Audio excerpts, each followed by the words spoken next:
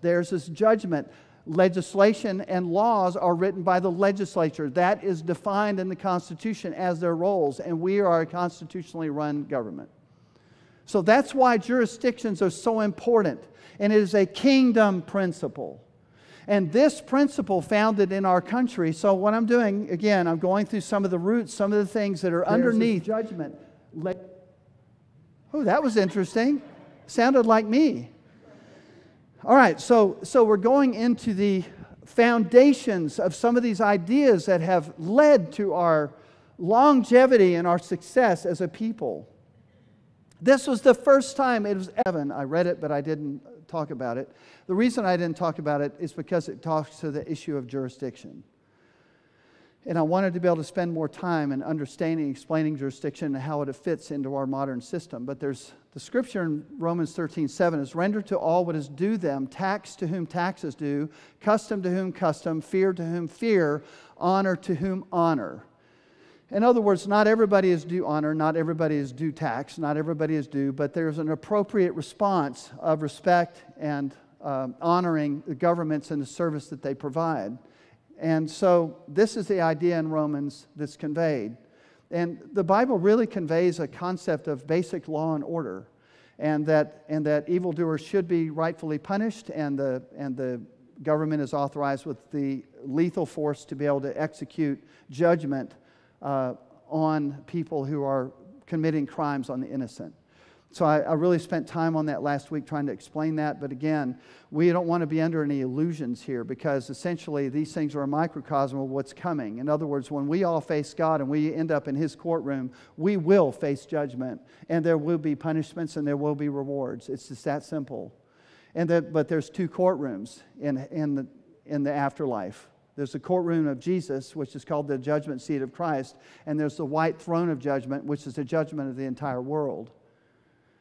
And then there may even be some other courtrooms, but the, but the fact is that if I'm going to, when I die, not if, but when I die, I want to be in the right courtroom, and that is the judgment seat of Christ, because then I have Him as my personal attorney. And He's also the prosecutor, so I've got it made. So, we are to only honor officials insofar as is appropriate in their God given role. In other words, he's saying you give honor as appropriate. Jesus, it's almost, uh, it's almost reminiscent of the words of Jesus, where he said, when they were talking about taxes and so forth, it says, Render therefore to Caesar the things that are Caesar's, and to God the things that are God's. And so Jesus was also making a jurisdictional statement. It was a very political statement, by the way, unless you, you know, because I hear people say, well, Jesus never messed with politics. It's actually not true. And I can sit down with you and explain to you how he was. He didn't mess with Romans, he didn't mess with, mess with Roman politics. But he was in your face with the injustices that were in the Pharisaical governments of Israel, the local governments. He was always having a scrap with them. And by the way, that is the role of the church to be a voice of accountability to uh, government gone awry. So he says, Render therefore to Caesar the things that are Caesar's, to God the things that are God's. He's, re- he's relating separate jurisdictions. He's talking about the role of the government versus the role of the church. Throughout history, throughout times, people have been confused about this. There are times when the church had way too much jurisdictional power within the realm of government, and it would go bad. If they had the power to punish with criminal and capital punishment, that is not the God given role of the church. The church should not be in that business. I, I had a guy one time in my church years ago that he was, uh, he was molesting one of the kids in our church, not on our property, but in a remote house. And, um, and in the process, I thought to myself, okay, so biblically, my role as a pastor is not to bring. So, right off, we contact that official. We have immediate conversations. I mean, we are in. And let me tell you, when church leaders and pastors who represent collectively hundreds and hundreds of people talk to a government official, the problem is we, have, we don't always do that. We're not always doing it, and we're not even paying attention. And this, this government official, I can tell you, they were, they were backpedaling fast. And they're like, Oh, no, no, no, no, no, that's not what I'm doing. No, no, no, don't misunderstand that. I am not, I am not supporting that. No, no, no, no, no. And then we discussed it. We talked about his response. And it was kind of like, okay, we're glad with that response, but it's a trust but verify because they're politicians. the Constitution respects this sphere of government versus religion, if you will. First Amendment Congress shall make no law respecting an establishment of religion or prohibiting the free exercise thereof or abridging the freedom of speech or of the press or the right of the people peaceably to assemble and to petition the government for a redress of grievances. So I just wanted to read the First Amendment just so you can see it. You've heard it probably a hundred, maybe a thousand times. But the idea is that the church is not to be encroached upon, the church is not to be hindered, the church is not to be overstepped by the government. We are to be given and established clear and free, uh, uninhibited freedom in the United States. That is the statement of our Constitution. 1853. I'm going through a lot of stuff, and I know I'm kind of rapid fire, but I'm gonna, I'm to cover it. 1853, the House Judiciary Committee conducted a one year long inquiry when a group petitioned the government to remove Christianity from our government institutions. They wanted a purge. This is 1853, nothing new under the sun. On March 27, 1854, the committee gave a report, and here's what they said. And this is just the first part of it, I'll read the rest. Had the people during the revolution a suspicion of any attempt to war against Christianity, that revolution would have been strangled in its cradle. At the time of the adoption of the Constitution and its amendments, the universal state sentiment was that Christianity should be encouraged, but not at any one sect, not of any one sect. In this age, there is no substitute for Christianity. That was the religion of the founders of the Republic, and they expected it to remain the religion of their descendants. And then they thought about it two more months and they added this the great, vital, and conservative element in our system is the belief of our people in the pure doctrines and divine truths of the gospel of Jesus Christ. The constitutional republic that we have in the United States is not a democracy. I know this is a rude awakening for a lot of people. They think that it's just a you know, democracy and everybody you know, that's, that's one of the motivations. We need to abolish the electoral college and all this. And they do not understand. Elections in the United States are 50 separate elections. You understand? So that every region has a voice. So it's not New York and California making all the decisions for everybody all the time. It was, it was so profoundly wise of the founders to establish this, this pattern of government. I, sometimes I scratch my head and I look at it and go, how in the world did they come up with all this? It's amazing. Understandings of jurisdiction, understandings of three branches, understanding of checks and balances, understanding the Bill of Rights and all this. It's amazing. So here's what the founders said about democracy. Are you ready?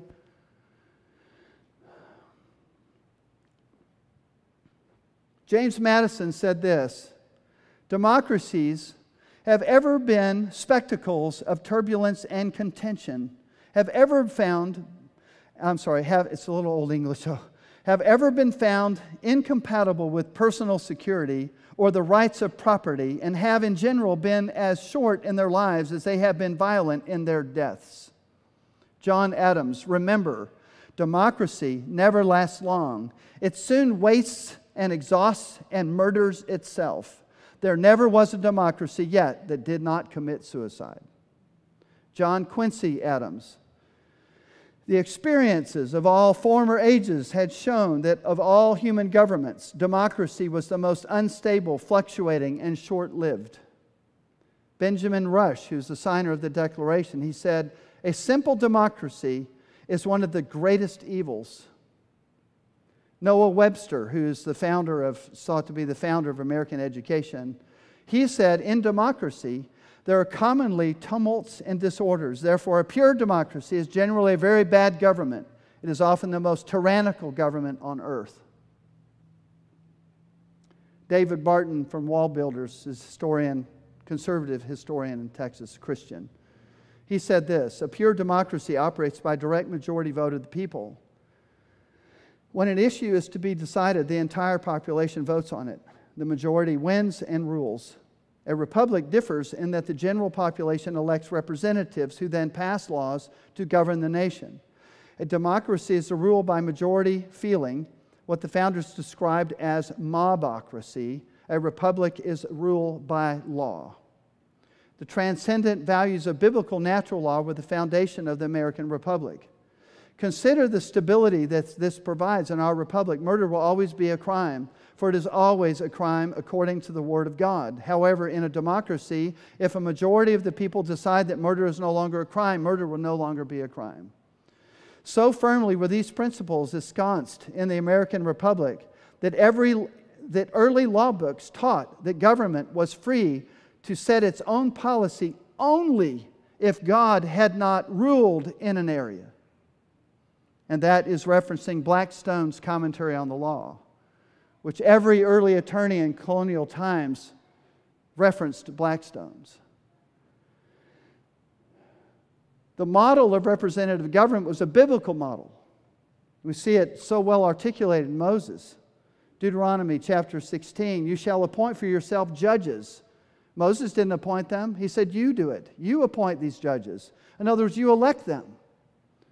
You decide from tribe to tribe on regional jurisdictions. You choose who your leaders will be, your judges, and your officers in all your towns which the Lord your God is giving you according to your tribes. They shall judge the people with righteous judgment. You shall not distort justice. You shall not be partial. You shall not take a bribe, for a bribe blinds the eyes of the wise and perverts the words of the righteous. Noah Webster, again, I already referenced him. He says, Our citizens should easily, should early understand that the genuine source of correct Republican principles is the Bible, particularly the New Testament or the Christian religion.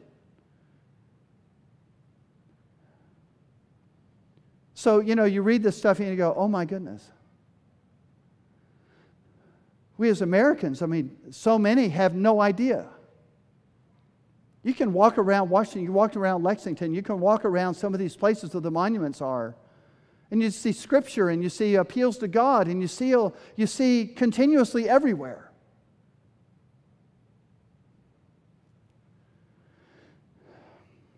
Our declaration, the Declaration of Independence, lays the foundation for the Constitution and the Bill of Rights. From the Declaration, we have this excerpt. We hold these truths. It's a famous excerpt. We hold these truths to be self evident. Self evident that all men are created equal, that they are endowed by their Creator with certain unalienable rights, that among these are life, liberty, and the pursuit of happiness, that to secure these rights, governments are instituted among men, deriving their just powers from the consent of the governed. And I talked about that last week, but you see it in Lex Rex and in the establishment of uh, Samuel Rutherford that, that the governed should have only governed by the consent of the governed. That is a biblical principle, and he lays out the case as a theologian back in the 1600s, prior to John Locke, who adopted a lot of those same ideas. Unalienable. Fancy word. What that means is it can't be taken away and it can't be denied. It is from God. It is not granted by the government. It is granted by God. A man is, uh, all men are created equal. We have a, li- a right to liberty, freedom. This is an unalienable right. We have a right to life, including the unborn. This is an unalienable right for every human being, a right to life. And we have the right to request that we, the, the governed only govern by our consent, right? A lot of these things are kind of a dub because it's part of the American DNA, it's part of our fabric. But we have to understand that each one of these has a biblical root, and that's what Noah Webster was trying to explain. Yes, not all the founders were Christians. Yes, some of them were deists, but we have to understand the consensus of worldview at that time was a Christian one and there was a framework of Christian values and Christian law, like, like uh, Blackstone, the attorneys that, was it Blackstone? I'm sorry. Commentary on the law. So here, God is the ultimate judge and ruler of the universe. We are all accountable to Him. Our nation is built around kingdom principles. And I believe that's one of the reasons we're so great. We're not so great because we're great. That would just be another form of racism, wouldn't it? Say, well, Americans are great because we're Americans. Well, we're just better than everybody else. It has nothing to do with it. We're just human beings in a melting pot. I mean, if we were to survey and find out where we all came from, we came from all over the world. Just two, three, four generations back, we're from all over the world.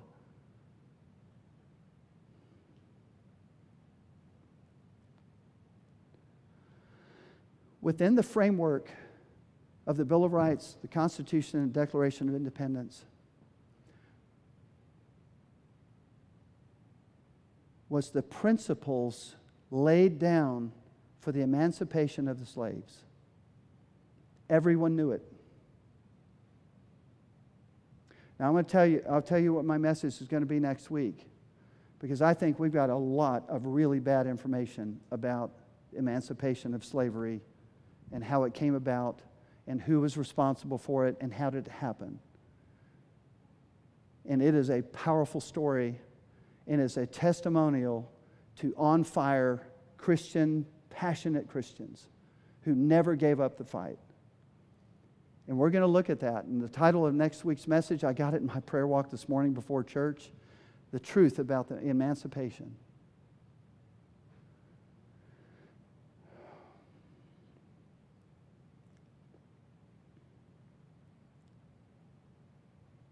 Many other laws derive from biblical principle. Immigration laws, the whole idea of elections, capital punishment, whole bulk of family law, private property laws, self defense, the ancient rules of self defense are also a part of our body of law. All these things were already in the Bible and often referenced in the Bible. In fact, I think the Supreme Court ruled, was it uh, uh, back about, uh, gee, there was a second, a major Second Amendment uh, ruling maybe 15 years ago or so. They referenced the Bible.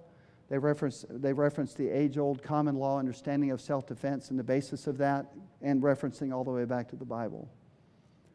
So these laws, many, so many laws, and there are some laws that have been taken off the books. The sodomy laws. Do you realize that sodomy up until 1970 was illegal in 50 states? Nobody thought anything of it. 50 states. Every single state had sodomy laws. In 1973, when the Supreme Court ruled, 48 states had pro life laws, all eradicated by fiat in the Supreme Court. Legislating from the bench. We've been fighting like that was going to bring peace. We've been fighting ever since. So here's what we have to remember God runs the universe on the unchangeable moral law of his government. One day we will all face his divine courtroom. Earthly governments are a reminder to all of us that he is the final lawgiver, king, and judge to whom we must give account. Man, I had a lot of notes. I can't believe I finished. Maybe we should do Q&A. Just kidding. That'd be risky. Okay. Let's stand together. America has lost its way. May we not lose our way because the church must remain a voice. And for us to be a voice, we have to be clear minded. We have to know our roots, we have to know our history.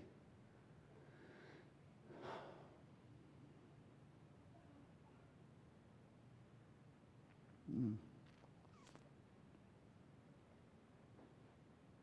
Lord, we just thank you today, coming up on our 4th of July, that what a great privilege it's been for us to live in America. Lord, we just humble ourselves today.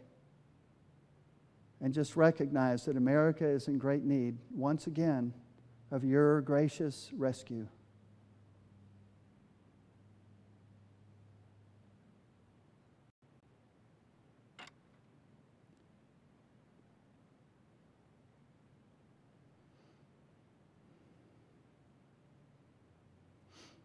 Thank you, Lord.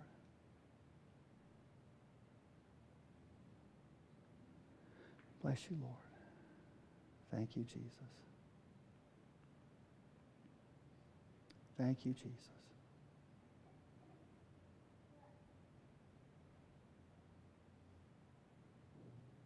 Thank you, Jesus. Thank you, Lord. Thank you, Father. Thank you, Jesus. Thank you, Lord. Bless you, Lord. God, we just thank you for the cleansing from the renewing of our minds.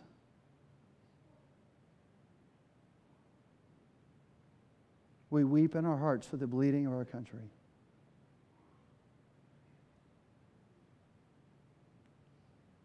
Give courage to those leaders who are righteous and good and strong, that have clear mindedness, that understand many of the things that I was relating this morning. Lord, we pray for those leaders that are in office, local, national levels.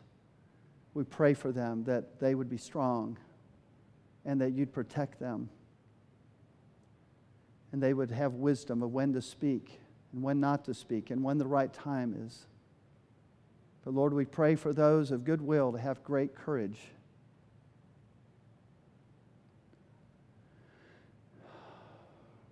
Hmm. Do you guys have a song that's appropriate? Okay. We'll just take a minute. Let's just worship a moment. And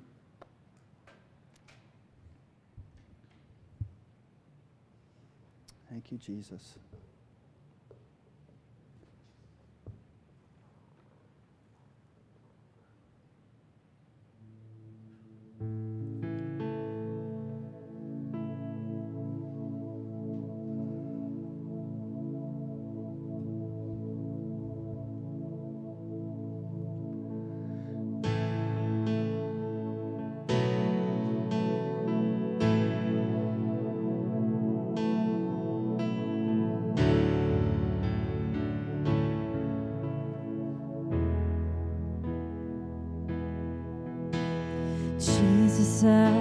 center of it all.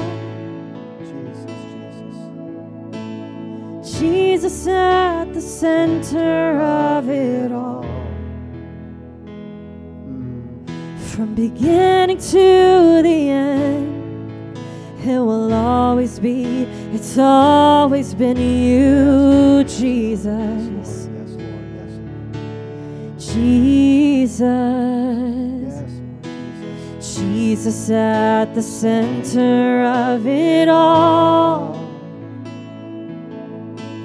Jesus at the center of it all. From beginning to the end, it will always be, it's always been you, Jesus. Jesus, and nothing else matters. Nothing in this world will do. yes, Lord. Yes, Lord. Jesus, you're the center, Yes, and everything revolves around you. Jesus, you Jesus, at the center of it all. So when I was talking about kingdoms and God's kingdom, you know, I mean, it's, it's possible somebody here this morning that, you know, the scripture says that we're transferred from the domain of darkness into the kingdom of his beloved Son.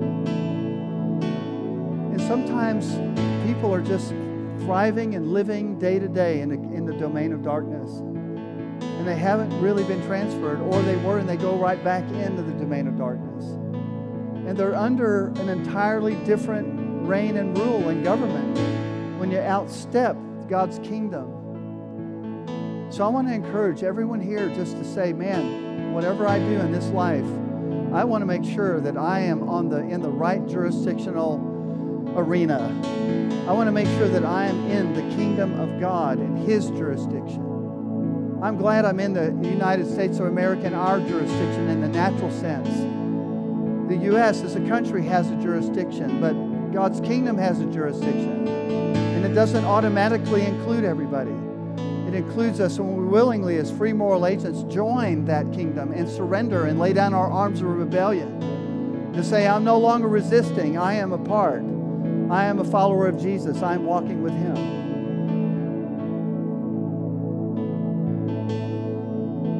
Are we all a part of the kingdom of God?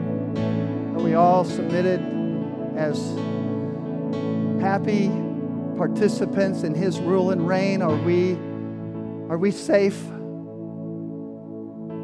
Safe in His hands? Safe under His rule? So, thank you, Jesus. It's very possible we all are. You know, I don't don't know all of you real well, but Lord, I just pray for anybody here if they have been sometimes we'll try to have one foot in the domain of darkness and one foot in the kingdom and it just doesn't work. The scripture says, How long will you halt between two opinions? Choose this day whom you will serve. Lord, we want to be clear about what side we're on. We want to be clear that we're a part of your household, we're part of your kingdom.